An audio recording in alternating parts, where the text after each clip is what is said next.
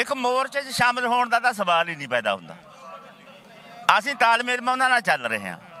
ਮੋਰਚਾ ਜਾਵਾਂਗੇ, ਜੋ ਇਕੱਠੇ ਬੈਠਾਂਗੇ, ਇੱਥੋਂ ਫੈਸਲਾ ਕਰਾਂਗੇ, ਇਕੱਠੇ ਹੋ ਕੇ ਜਾਣ ਦਾ ਫੈਸਲਾ ਅਸੀਂ ਕਰਾਂਗੇ। ਅਸੀਂ ਉਹਨਾਂ ਦੇ ਵਿੱਚ ਰਲ ਕੇ ਦਿੱਲੀ ਨੂੰ ਵਧਣ ਦੀ ਗੱਲ ਕਰੀਏ, ਇਹ ਤਾਂ ਸਵਾਲ ਹੀ ਨਹੀਂ ਪੈਦਾ ਹੁੰਦਾ। ਇਹ ਗੱਲਾਂ ਐ ਹੁੰਦੀਆਂ ਨਹੀਂ।